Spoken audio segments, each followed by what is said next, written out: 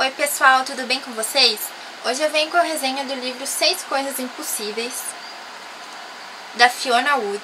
E esse livro aqui me chamou a atenção pelo título, Seis Coisas Impossíveis. Eu achei que seria bem interessante. E Seis Coisas Impossíveis, um choque de realidade de cada vez, por favor. E tem aqui atrás também a lista que o personagem Dan faz. Eu acho muito interessante livros que tem algum tipo de lista assim. E no final vai mostrar o que, que virou essa lista dele, o que, que ele conseguiu fazer dessa lista de coisas que ele queria fazer. E a história do Dan é a seguinte, ele, a família dele perdeu tudo, o pai dele faliu e além disso, o pai dele admitiu que é gay e saiu de casa. É claro que a mãe dele ficou super para baixo, super chateada. Os dois tiveram que sair de casa também, que eles perderam tudo. E eles perderam até os, os, bens pessoais, assim, todos os móveis de casa eles também perderam. Então eles saíram praticamente sem nada, só com as coisas que eles esconderam na casa, da, acho que de uma amiga da mãe dele, e com as roupas. E a tia da mãe dele deixou uma herança para ela, e a herança é o seguinte, uma casa, só que é uma casa tombada pelo patrimônio histórico. Então eles não podem vender, não podem vender nada do que tem lá dentro. Tem bastante coisa de valor, mas eles não podem vender nada. Eles podem simplesmente usar essa casa enquanto a mãe dele for viva, mas eles não podem mexer no que tem lá dentro. Até no começo eles falam bastante que a casa tem um cheiro muito ruim e eles não podem fazer nada, não podem mudar a casa, é uma casa super velha, super antiga. E o Dan quer mudar a imagem dele, ele tem que mudar de colégio, então ele acha que ele pode mudar a imagem dele que é de menino nerd. E ele acha que ele vai conseguir mudar, que ele vai ser uma pessoa diferente, mas essa coisa de nerd persegue ele, porque é o que ele é.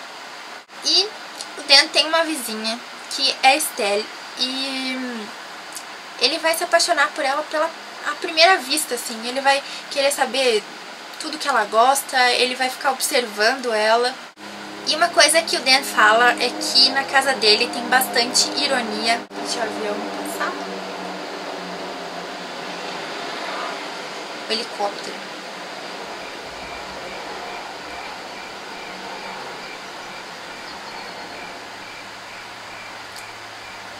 Então, continuando. Então, duas coisas que o Dan fala que tem na casa dele é sarcasmo e ironia, e realmente é verdade. É, é muito engraçado, ele e a mãe dele são muito engraçados. E como eles perderam tudo, a mãe dele precisa fazer alguma coisa. E ela resolve que ela vai fazer bolos de casamento. O que é bem irônico mesmo para alguém que acabou de se separar.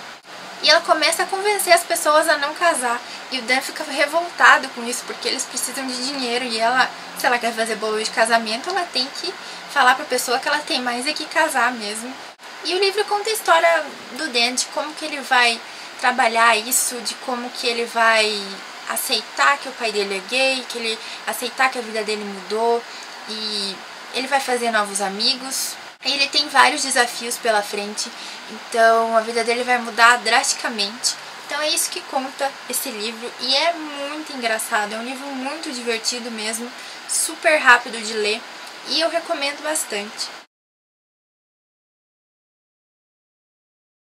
Que é número 1, um, beijar a garota. A garota é a Estela. E arrumar um emprego. 3. Dar uma animada na mãe. 4. Tentar não ser um nerd completo. 5. Falar com o pai quando ele liga, porque ele não quer mais falar com o pai dele. E 6. Descobrir como ser bom e não sair abandonando os outros por aí. Então, no final, a gente vai ver o resultado dessa lista aqui, se ele conseguiu mesmo fazer tudo isso. Então, eu espero muito que vocês tenham gostado do vídeo. Um super beijo e até o próximo.